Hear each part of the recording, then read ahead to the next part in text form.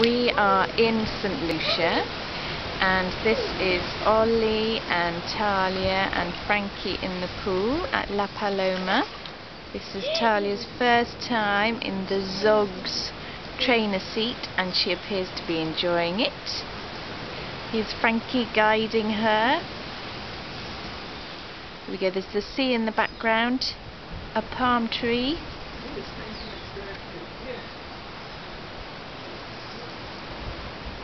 And Talia doesn't know quite what to do, but seems to be having a very, very good time. Hi Talia! Hi! Hello, hello, hello! Hello, hello, hello! Hey Talia! Talia! Oi! Yeah!